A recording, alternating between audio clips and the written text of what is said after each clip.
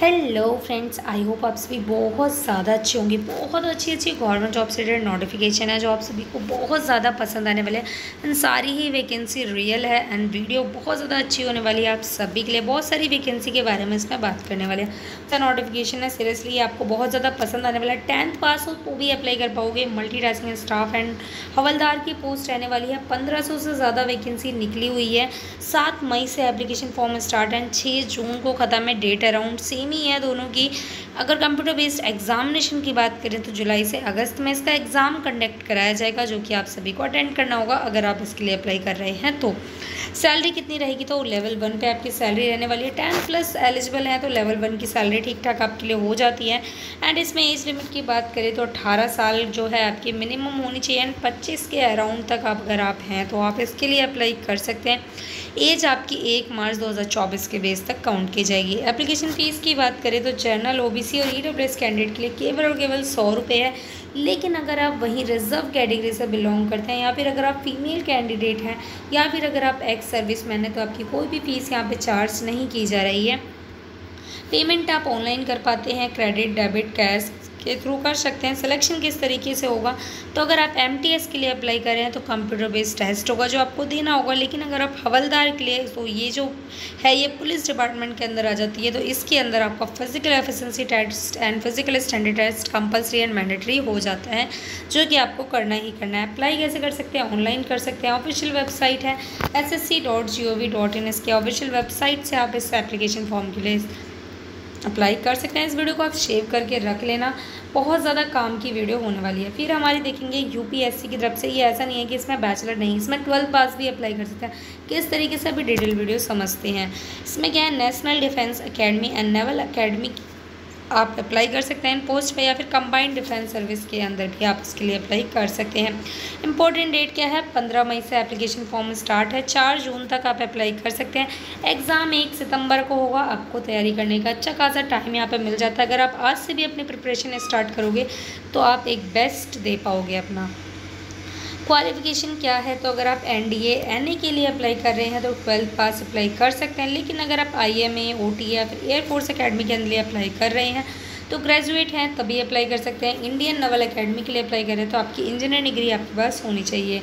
As limit कितनी है? तो वो आप यहाँ पे देख सकते हैं। अगर आप एन डी या फिर एन जो एन का एग्ज़ाम बहुत ज़्यादा लोग देते हैं आई नो इसमें अगर आपकी डेट ऑफ़ बर्थ दो जनवरी 2004 से लेके एक जनवरी 2007 के बीच में है तो आप अप्लाई कर सकते हैं। एंड आईएमई एनआईए के लिए आपके दो जुलाई उन्नीस सौ निन्यानवे से लेके एक जुलाई 2004 के बीच में डेट ऑफ़ बर्थ है तो आप अप्लाई कर सकते हैं।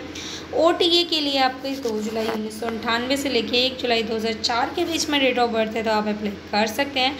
और ऐसे ही आपके यहाँ पे एज लिमिट रहने वाली है। एयरफोर्स अकेडमी के लिए आपकी 20 से 24 साल के बीच में एज होनी चाहिए। एक मार्च 2024 के बेस पे आपकी जो एज लिमिट है, वो काउंट की जा रही है। अगर डिटेल पीडीएफ चाहिए तो मुझे बता देना कमेंट बॉक्स में, उसकी एक डिटेल वीडियो भी आ जाएगी। सिलेक्शन किस तरीके से होगा? तो रिटर्न टेस्ट प्लस एसएसबी का इंटरव्यू होता है दैन उसके बाद आपका यहाँ पर जॉब लगाता है। अप्लाई आप ऑनलाइन कर पाएँगे जॉब लोकेशन इंडिया में ही रहने वाली है। नेक्स्ट वैकेंसी हम देखने वाले हैं टेक्नीशियन असिस्टेंट ग्रुप सी की पोस्ट होने वाली है। तीन हज़ार से भी ज़्यादा वैकेंसी है, तीन हज़ार चार सौ छियालीस वैकेंसी हो जाती है इसके अंदर। एक मई 2024 से लेके इकतीस मई तक आप इसके लिए अप्लाई कर सकते हैं। यानी कि इसकी जो वैकेंसी है मई के स्टार्टिंग में ही शुरू है। मई के ख़त्म होती ही ख़त्म है। करेक्शन आपका करेक्शन कराने की भी डेट आपको यहाँ पे मेंशन की गई है, जो कि आप सात जून 2024 दी गई है। सैलरी आपकी पाँच हज़ार दो सौ रुपये से लेकर बीस हज़ार दो सौ रुपये के बीच में होने वाली है। एंड इसकी सैलरी मुझे थोड़ी सी कम लग रही है। क्वालिफिकेशन इसमें बैचलर डिग्री अगर आपने एग्रीकल्चर हॉर्टिकल्चर या फिर एग्रीकल्चर इंजीनियरिंग में बी कर रखा है तो आप इसके लिए अप्लाई कर सकते हैं। इक्कीस से चालीस साल एज लिमिट हो जाती है। एप्लीकेशन फ़ीस इसकी बहुत ज़्यादा अच्छी है तो आप एक बार ट्राई कर सकते हो। सिलेक्शन की बात करें तो इसमें आपका रिटर्न एग्ज़ाम हो रखा है तो आप इसके लिए अप्लाई कर सकते मतलब रिटर्न एग्ज़ाम आपको क्लियर करना होगा देन आप इसके लिए एज ए कैंडिडेट हायर किए जाएँगे। इस ब्यूरो की तरफ़ से रहने वाला है नोटिफिकेशन पोस्ट की बात करें तो इसमें पोस्ट बहुत ज़्यादा है और इसके अंदर अगर आपने बेसिक लेवल से पढ़ाई कर रखी है तो भी आप अप्लाई कर सकते हैं। लाइक इसमें जो पोस्ट रहने वाली है assistant central intelligence officer junior intelligence officer security assistant हलवाई cum cook caretaker personal assistant and printing press operator जैसी पोस्ट रहने वाली हैं। इसमें ज़्यादा इसमें कोई क्वालिफिकेशंस वगैरह आपसे नहीं मांगी गई है। नॉर्मल सी रखी गई है। नंबर ऑफ़ वैकेंसीज़ की बात करें तो 660 वैकेंसीज़ टोटल हैं जिसके लिए आपको अप्लाई करना है और इसके लिए आप दो मई से पहले पहले अप्लाई कर लें। और इसके लिए बात करें सैलरी की तो सैलरी क्या है? इसमें पोस्ट बहुत ज़्यादा है। तो कुछ पोस्ट के लिए लेवल टू पे है, कुछ के लिए लेवल थ्री पे है, कुछ फोर, फाइव, सिक्स, सेवन मतलब पोस्ट के अकॉर्डिंग आपकी सैलरी को डिवाइड किया जाएगा। क्वालिफिकेशन कितनी होगी? तो जैसा मैंने बताया था, बेसिक लेवल से है। तो अठारह टेंथ वाले भी अप्लाई कर सकते हैं ट्वेल्थ वाले भी अप्लाई कर सकते हैं एंड डिग्री वाले भी अप्लाई कर सकते हैं। कोई इसमें ज़रूरी नहीं है कि आपके पास आर्ट्स हो या फिर साइंस हो, हिंदी मीडियम इंग्लिश मीडियम किसी भी की हो, आपके पास टेंथ कंप्लीट होनी चाहिए ट्वेल्थ कंप्लीट होनी चाहिए एंड ग्रेजुएशन कंप्लीट होना चाहिए। एज लिमिट की बात करें तो 18 साल से लेकर छप्पन साल के बीच में अगर आपकी एज है तो आप इसके लिए ईजिली अप्लाई कर सकते हैं। सबसे ज़्यादा इसमें अच्छी एज लिमिट ही है, जो आपको एक लंबा खासा क्राइटेरिया देती है। एप्लीकेशन फ़ीस की बात करें तो वो आपको इनके थ्रू ही पता लगेगा। सिलेक्शन प्रोसेस की बात करें तो सबसे पहले इसमें आपका एक रिटर्न टेस्ट कराया जाएगा जब आप उस रिटर्न टेस्ट को क्वालिफाई कर लेते हैं तो आपको इंटरव्यू के लिए लेटर कॉल जिसके भी थ्रू वो आपसे कनेक्टिंग कनेक्ट कर पाएँ, उसके थ्रू वो आपसे इंटरव्यू के लिए आपको नोटिफिकेशन देते हैं देन आपका इंटरव्यू होता है देन आपको हायर किया जाता है। नेक्स्ट वैकेंसी हमारी होने वाली है एसएससी की तरफ़ से। जूनियर इंजीनियर की पोस्ट है। अगर जूनियर इंजीनियर के बेस पे अगर आपको इस पोस्ट को देखेंगे ना तो ये वैकेंसी बहुत ज़्यादा है, ज़रूरत से ज़्यादा है। मतलब ठीक है, और इसमें मतलब स्टाफ से, इस एसएससी की तरफ़ से नोटिफिकेशन है, इसका जूनियर इंजीनियर की पोस्ट आने वाली है। नौ सौ छियासठ वैकेंसी है। एप्लीकेशन फॉर्म स्टार्ट होने ही वाले हैं अठारह अप्रैल से। चार से लेकर छः जून तक आपका पहला पेपर करा भी दिया जाएगा। एंड देन उसके आगे आगे आपको प्रोसेस मिलता रहेगा। फ़र्स्ट जो है, आप इसकी तैयारी कर रहे हैं तो एग्ज़ाम की डेट चार से छः के बीच में है। वो आपकी ब्रांच है, उस पर डिपेंड करती है। चार से छः के बीच में कभी भी हो सकती है। सैलरी की बात करें तो पैंतीस हज़ार चार सौ रुपये से लेकर एक लाख बारह हज़ार चार सौ रुपये के बीच में आपकी सैलरी रहती है, जो कि लेवल सिक्स की सैलरी हो जाती है। अच्छी खासी सैलरी आपकी जनरेट हो जाती है। इसमें क्या है, अगर आपने डिप्लोमा कर रखा है तो भी अप्लाई कर सकते हैं। ग्रेजुएशन यानी कि डिग्री कर रखी है डिग्री है आपके पास तो भी आप इसके लिए अप्लाई कर सकते हैं। एज लिमिट कितनी है? अठारह से तीस साल के बीच में अगर आपकी एज है तो आप इसके लिए ईजिली अप्लाई कर सकते हैं। एप्लीकेशन फ़ीस ज़्यादा नहीं है इसके लिए। जस्ट लाइक अगर आप जर्नल और ओबीसी से हैं तो आपसे केवल और केवल सौ रुपये ही एप्लीकेशन फ़ीस ली जा रही है। अदर इसको छोड़ के आप रिज़र्व कैटेगरी से हैं like S C S T female चाहे जर्नल की हो, चाहे ओबीसी की हो एक्स सर्विस मैन उनकी कोई भी फ़ीस नहीं लगेगी। पेमेंट आप ऑनलाइन करेंगे सिलेक्शन की बात करें तो इसमें सबसे पहले कंप्यूटर बेस्ड टेस्ट होगा एंड देन डिस्क्रिप्टिव टेस्ट होगा। मोस्ट ऑफ़ द लोगों को पता होगा फ़र्स्ट जो पेपर होता है कंप्यूटर बेस्ड टेस्ट जैसे कि इसकी डेट मैंने आपको बताई, चार से छः जून के बीच में। तो इसमें क्या रहने वाला है, आपके M C Q based question आने हैं। फोर पार्ट से रिलेटेड इसमें क्वेश्चन आते हैं इंटेलिजेंस रीजनिंग एप्टीट्यूड वगैरह से। सेकंड डिस्क्रिप्टिव होता है। डिस्क्रिप्टिव यानी कि एमसीक्यू बेस्ड नहीं होने वाला है रिटर्न होने वाला है और लंबा होने वाला है। अप्लाई की बात करें तो अप्लाई ऑनलाइन होगी जॉब लोकेशन इंडिया में ही रहेगी।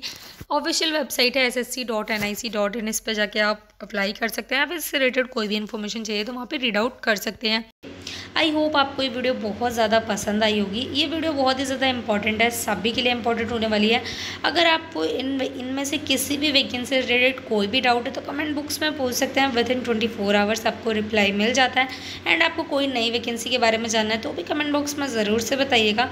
एंड कोई भी डाउट है तो ज़रूर से पूछना एंड इस वीडियो को ज़्यादा से ज़्यादा लोगों को शेयर कर देना ताकि ज़्यादा से ज़्यादा लोगों के पास इसका नोटिफिकेशन जा सके। थैंक यू नोटिफिकेशन आउट हुआ है। इसके अंदर जो पोस्ट है, बहुत सारी रहने वाली है। लाइक सबसे पहली पोस्ट इसके अंदर लोअर डिजन क्लर्क की रखी गई है। फिर इसमें आपकी जूनियर सेक्रेटरीट असिस्टेंट की हो जाती है।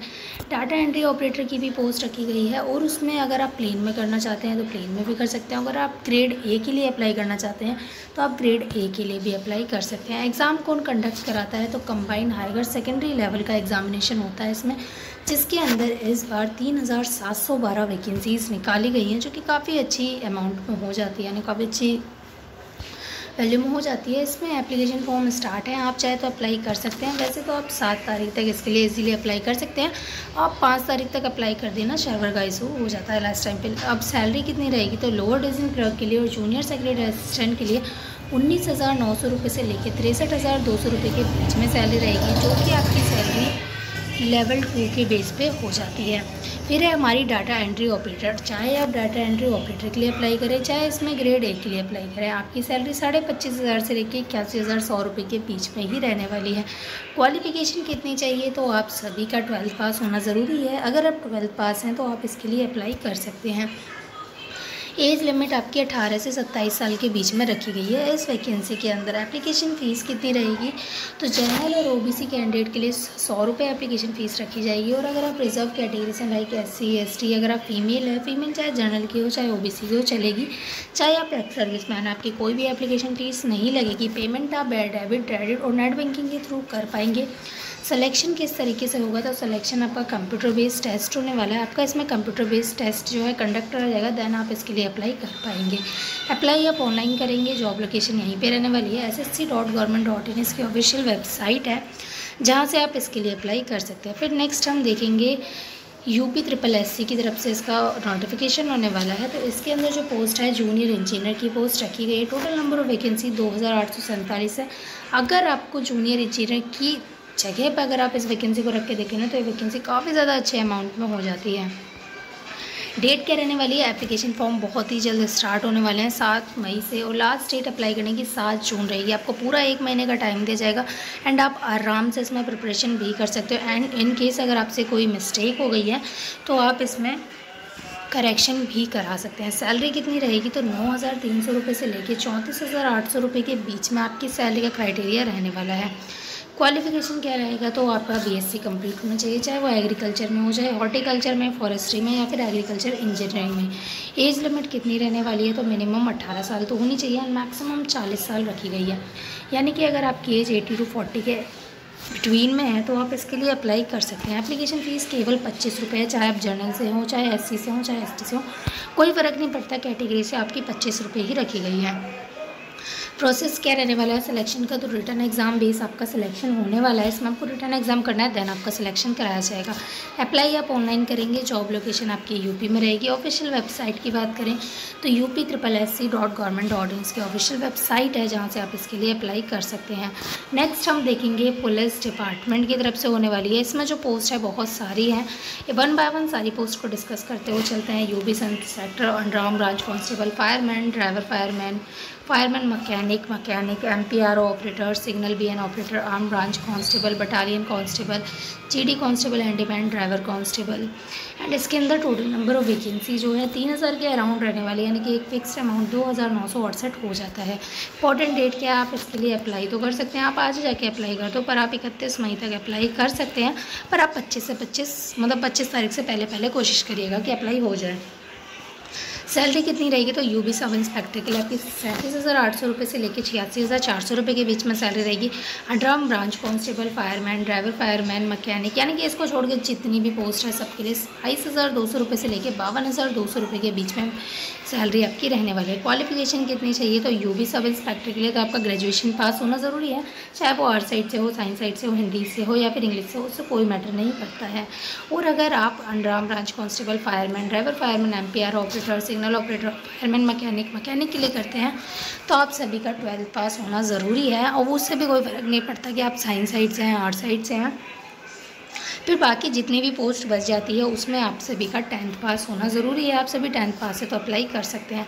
एज लिमिट कितनी रहने वाली है? तो यू बी सब इंस्पेक्टर के लिए इक्कीस से सत्ताईस साल है और इस वैकेंसी को छोड़ के जितनी भी वैकेंसी है, सब में अठारह से इक्कीस साल के बीच में आपकी एज लिमिट रखी गई है। एप्लीकेशन फ़ीस कितनी है? तो अगर आप जनरल से हैं ओबीसी से हैं ई e से हैं तो आपकी डेढ़ सौ रुपये एप्लीकेशन फ़ीस है। एससी से हैं एसटी से हैं फीमेल से तो भी डेढ़ सौ रुपये यानी कि डेढ़ सौ रुपये ही रहनी है, चाहे आप किसी भी कैटेगरी से रह लो। एंड फिर इसमें बात करेंगे दैन सिलेक्शन का प्रोसेस क्या रहने वाला है? तो इसमें सबसे पहले आपका फ़िज़िकल टेस्ट कराया जाता है। जब आप फ़िज़िकल टेस्ट को क्वालिफाई कर देते हैं तो आप रिटर्न टेस्ट में चले जाते हैं। जब आप रिटर्न टेस्ट क्वालिफाई कर देते हैं तो आप इंटरव्यू के लिए चले जाते हैं। तो आपका इस तरीके से इसमें सिलेक्शन होता है। अप्लाई का मोड ऑनलाइन रहता है। और किसी भी वैकेंसी रिलेटेड कोई भी डाउट हो तो कमेंट बॉक्स में आप पूछ सकते हैं। Within twenty four hours आपको रिप्लाई मिल जाएगा। एंड इस वीडियो को ज़्यादा से ज़्यादा लोगों को शेयर करना, ताकि ज़्यादा से ज़्यादा लोगों को इस वैकेंसी के बारे में पता लग सके। और अगर कोई अप्लाई करना चाहता है तो वो बिल्कुल भी ना रुके कि उनके पास इन्फॉर्मेशन नहीं थी। जब तक के लिए थैंक यू सबसे पहले इसमें आईबीएम की तरफ़ से नोटिफिकेशन आया हुआ है, यानी कि इंटरनेशनल बिज़नेस मशीन कह सकते हैं। इसके अंदर जो पोस्ट है डॉक्यूमेंट वेरिफिकेशन की है एंड इसके अंदर आपकी जॉब क्या रहने वाली है? तो आपकी इसमें परमानेंट जॉब रहने वाली है, जब तक चाहे, जब तक करो। एजुकेशन क्या रिक्वायर्ड है? कोई भी अप्लाई कर सकता है, कोई भी अप्लाई करने का बेसिकली मीन है। आप अगर टेंथ पास हैं तो स्टार्टिंग से अप्लाई कर सकते हैं। कौन अप्लाई कर सकता है? सभी अप्लाई कर सकते हैं। एंड बात करें इसमें डॉक्यूमेंट वेरिफिकेशन जो जॉब अगर आप कर रहे हैं फ़र्स्ट टाइम अगर आप अप्लाई कर रहे हैं तो आपकी क्या क्या रिस्पॉन्सिबिलिटीज़ रहती हैं इसके अंदर? तो वो भी साथ ही साथ समझते हुए चलते हैं। Interrogate internal and external system to gather information to validate know your customer details ensuring customer record आपका यहाँ पे कस्टमर को एक तरीके से उनका वर्क करने का काम हो जाता है, आपका balance different view points and customer client inside with policy to reach the right customer outcome आपको कस्टमर मेन बात ये है ना, आपकी इसमें स्किल्स अच्छी होनी चाहिए। अगर आपकी स्किल्स अच्छी है तो आप यहाँ पे टिक जाओगे। ये रहने वाला आपको कस्टमर को सेटिस्फाई करना है, उसका मतलब उसका जो काम है, बढ़िया तरीके से करना है, यही आपका है। मेनली जो इसमें पॉइंट ऑफ़ व्यू है, इस वैकेंसी का यही रखा गया है। Work closely with the team leader आपको काम सबसे सही से करना है, सबके साथ मिल के करना है, लड़ाई झगड़ा नहीं करना है। Document dispensary where appreciate for further investigation repair following defined process सारी चीज़ें आपको मैनेज करके चलनी है, साथ के साथ फीडबैक वगैरह भी ज़रूरी है। क्वालिफिकेशन की बात करें तो कोई भी अप्लाई कर सकता है मीन्स टेंथ पास तो एक बेसिक नीड है, जिसके लिए कम से कम तो आपको चाहिए। सलेक्शन किस तरीके से होगा तो सलेक्शन की जो बात है, वो आपका इंटरव्यू बेस्ड सलेक्शन होने वाला है। यहाँ पर आपसे कोई एग्ज़ाम नहीं लिया जाएगा, ना ही आपसे कुछ ऐसी रिक्वायरमेंट करी जा रही है। बस आपका इंटरव्यू ले जाएगा इंटरव्यू में बेसिकली आपकी स्किल्स पर फोकस किया जाएगा कि आप दूसरों से बात करने में कैसे हैं। आप कस्टमर मेन इन केस अगर आपसे कोई कस्टमर से बात करते हैं तो आप उसे सेटिस्फाई कर पाएँगे या नहीं। मेनली आपकी पर्सनैलिटी एंड कम्युनिकेशन स्किल्स पर फोकस किया जाता है। एप्लीकेशन फ़ीस आपसे कुछ ले नहीं रहे हैं। बिल्कुल भी एप्लीकेशन फ़ीस नहीं है। चाहे आप किसी भी कैटेगरी से बिलोंग करते हो, चाहे जर्नल हो, चाहे एस सी हो। इंपॉर्टेंट डेट की बात करें तो एप्लीकेशन फॉर्म स्टार्ट है। आप चाहे तो अप्लाई कर सकते हैं। एंड लास्ट जल्द से जल्द ख़त्म होने वाली है। तो इसकी आप ऑफिशियल वेबसाइट से डॉक्यूमेंट वेरिफिकेशन की ऑफिशियल वेबसाइट से अप्लाई कर सकते हैं। एंड कोई भी कन्फ्यूज़न है इस वैकेंसी में तो आप कमेंट बॉक्स में पूछ सकते हैं। आपको within twenty four hours आपको आंसर मिल जाएगा। कोई भी डाउट है तो आप पूछ लेना। एंड इस वीडियो को ज़्यादा से ज़्यादा लोगों को शेयर कर देना। Thank you